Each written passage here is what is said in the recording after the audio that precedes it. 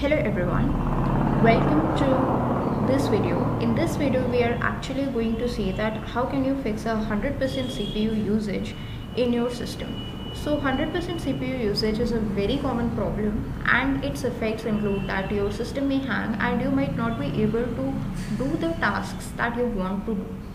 So this is actually a very common problem and its solution is also very simple. So in this video we are going to see the solution. Without any further ado, let us just dive right into the solution. So the first step that you need to do is you need to right click on the start button and select device manager from the options. In the device manager this kind of a dialog box will open.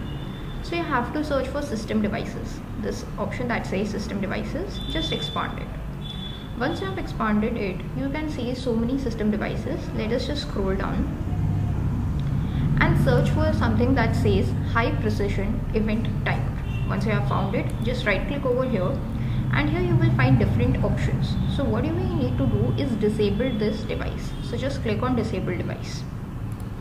Once you have done this then you can close this dialog box. So this is the first step.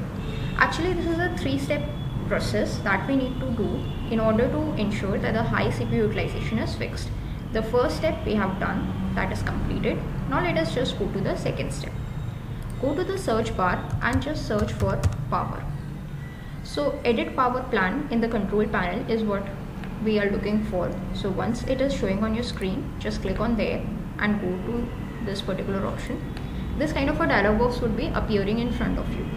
Here you will see that um, what is the display of time and the computer sleep time when it is on a battery or when it is on plugged in mode? We are not concerned with that. We are concerned with the change advanced power settings.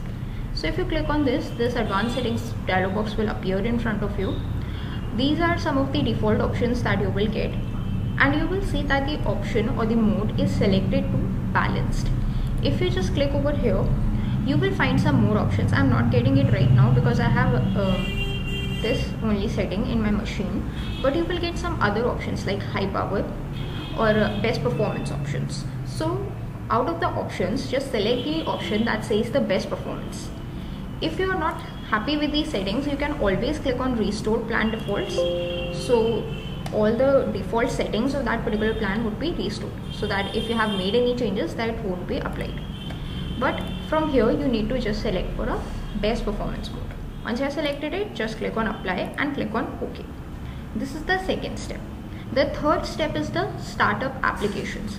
So many a times what happens is there are some default applications that get started up automatically when our computer boots up.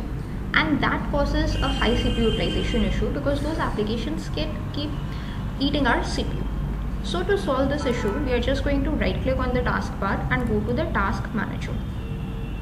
Here you will see right now I'm getting all these uh, apps that are working for me. So 58%, 57% CPU utilization I'm getting. Uh, this one application is eating around 25% of my CPU and rest of the CPU is being utilized by the screen capturing device uh, application that I'm using currently and task manager is capturing somewhat of a 0.5% uh, of my CPU.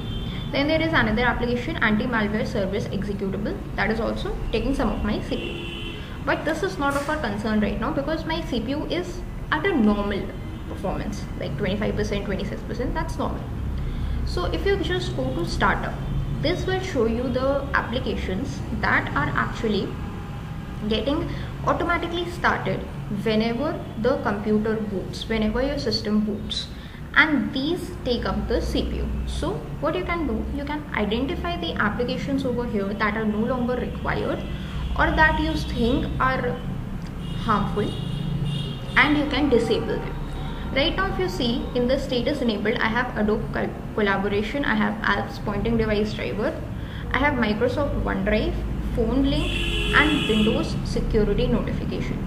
So according to me, all these five applications are actually important that these should actually run when my system is starting so i'm not going to disable any of them these five also if you're showing on your system do not disable them if you see any of the applications that you think are useless then you can disable those so that is how you fix the 100% CPU utilization issue very easily onto your system. That's it for this video. Thanks for watching.